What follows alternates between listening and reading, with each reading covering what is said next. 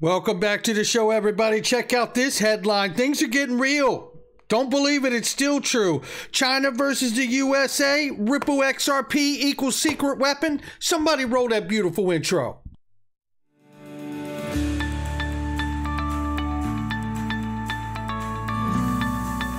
Digital Perspectives with Brad Kimes. Come on in.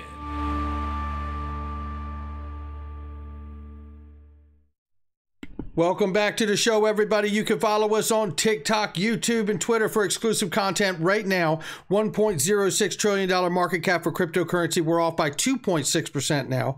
Right here, we see Bitcoin 22,500 plus. We see Ethereum 1,500 plus.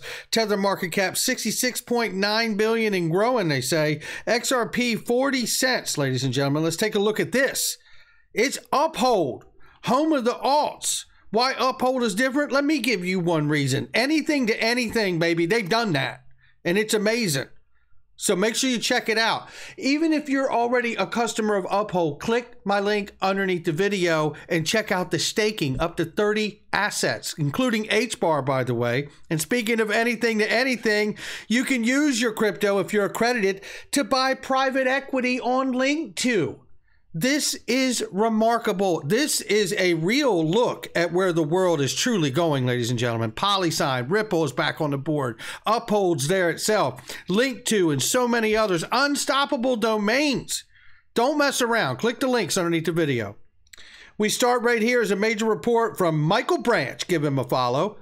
A major crypto tracking platform whale alert over the past three days says anonymous whales have transferred a staggering amount of XRP that exceeded 600 million coins. Whoa! Where's all that going? That's a lot of chicken. And I wanted to touch this again because I touched it over the weekend. And this is a big deal, ladies and gentlemen. This is really about Signature Bank that made the announcement that said no longer can they use SWIFT unless you're sending more than $100,000 to buy crypto if you're a Signature Bank customer. Remember that little thing? And everybody was like, oh, Swift cutting out retail. We weren't sure. Well, we have to pay very close attention to see if that actually starts growing a bit. But what we do know is, is that Signature Bank that made that announcement we also know that Silvergate Bank, owned by Barry Silbert and DCG, right? All hung up in the middle of the throes of the FTX collapse. Both of these banks received up to $13.6 billion from the Federal Home Loan Banks. You have to ask yourself was this the first example of too big to fail when it comes to crypto? That is the question. Elizabeth Warren is up in this too somewhere with her thoughts, and we covered that. I think it was a couple days ago. But let me tell you, I happen to think because both of these banks are highly involved in crypto activities, we may have just witnessed a hidden bailout. We'll keep an eye on it. Look, I'm showing you this, and the next several pieces of information you see, I believe, are not mutually exclusive. That is my personal opinion. And you guys know that Saudi Arabia's central bank is carrying out experiments with other central bank digital currencies in cooperation with other financial institutions. They have made it very clear as recently as the World Economic Forum in Davos, they are open to settling trade for oil in currencies other than the US dollar. That's what we're watching unfold.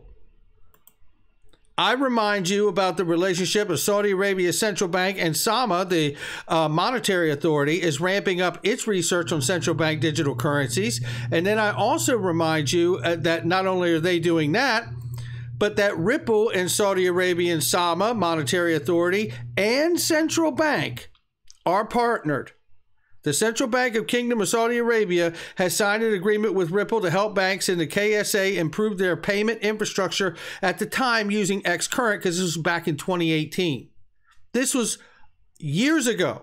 This relationship is really solidified as I see it. Then I remind you look, this is what's happening around the world, okay? While everybody's thinking we're never going to get clarity for crypto, this is what I see happening here. I'm stacking my penny next to their dollars. Who are they? Everyone I'm showing you. And as long as I see them creating, adopting, piloting, implementing, I am bullish. I'm a perma bull in the crypto space. Now, everybody's got to make their own decision what they feel the best place to put your investment, if you choose to do so, is going to be. You guys, I think, certainly know where mine is, not financial advice. James Wallace to represent Ripple at the Digital Pound webinar. We know Susan Friedman was just speaking in November 22 to the UK Treasury Committee. This is getting exciting. The UK has said that they could see a British stablecoin pound pound stablecoin in the coming weeks. Brazil, huge relationship ties from Brazil to, to Ripple as well, gets crypto laws. Industry players will get 180 days to comply. Let's go to Europe, the EU. MiCA at the door, how European crypto firms are getting ready for sweeping legislation. It's on the verge of taking place. A lot of these areas we're talking about encompass G7 and G20 nations. This is getting very, very real, ladies and gentlemen, to me, at least at my house. And then we covered this. Shout out to Eleanor Terrett for bringing this back around here just from a few days ago. China backed blockchain project proposed SWIFT alternative for stablecoins and central bank digital currencies. This is UDPN, Universal Digital Payment Network, tied in with the United Nations. This has really been created by Red Date Technology, which is also blockchain services uh, uh, uh, network, blockchain based services network. So this is all China state backed, is what we're looking at here. So when you look at this, I have to say to myself, what are we talking about here? I have said on this channel multiple times he who has the gold makes the rules. But then I have added he who controls the payment rails of the future runs the world. This, I believe, is a perfect graph of exactly what the world is not looking to do. But we're up against the wall here. The rest of the free world, I'm pretty sure, doesn't want to be running on CCP controlled payment rails. That would be a problem. The gentleman from Red Date Technology goes on in this article to talk about how you don't need a token to experience the benefits of a public blockchain. Really sounding a lot like the argument that we've heard David Schwartz make of no incentive is the best incentive. And that means to not reward miners or things of that nature in a proof of stake system or proof of work system. That's why there is none of that in what we see with XRP, right? In the Federated Byzantine Agreement and so forth, consensus mechanism. You don't see the incentivized situation set up. However, it is an advantage to have pre allocated and gifted XRP to that network because then you can actually have a very real new commodity or money, however you choose to see it, created with real value by the liquidity and utility that moves on and through and across that network. Don't believe it, it's still true. Now, listen, this is something I've thought for a very long time. I'm going to play you right now the clip from the movie Cryptonaires. And if you haven't seen it, go to cryptoperformance.io, give your email, and watch it for free. It is more relevant today than it ever has been. I, I made that movie with Dustin Plantholt knowing that this moment we're in was what the movie was about.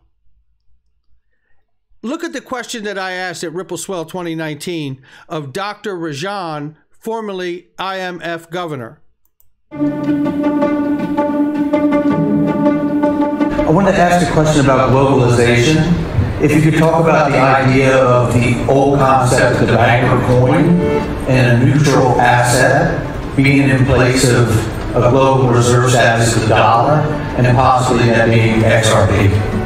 You know, uh, what you're asking for is whether there's a possibility of a global currency, and to some extent that's what Libra was trying to do. And as I understand it, that's different from what XRP is trying to do. And, and, and the reason is, is as follows. As soon as you go to maintaining the value, right, some kind of stable coin, uh, a whole set of regulatory concerns get triggered. I have to make sure that there is corresponding uh, financial or real assets backing this, this notion of value that, is, that they seek to maintain. Now, after I asked that question, there was a huge ovation that erupted from the 800 attendees in that conference room. And moments after that, David Schwartz had got up and walked out. And I had been spending a lot of time talking with him. And shout out to David Schwartz. I walked out of that room into the reception area and I just felt like, you know, everyone was asking this question and dancing around it, but not really asking it. And I went out and I followed David out. I said, "Well, David, you know, did I did I mess up? I mean, I just, you know, I hear everybody dancing around it. Am I wrong to ask the question? And David just candidly looked at me. And obviously, David would never say anything that he wouldn't say on public television to all of us. And he just simply said very candidly to me, Well, what choice do they have? What choice does the world have, really? And I'm paraphrasing, right? What choice does the world really have? To use the Chinese yuan because the dollar's really getting so beat up and, and stressed? or to use an asset an XRP ledger made by an American company, which one are you going to trust more? Essentially, is the point he was making.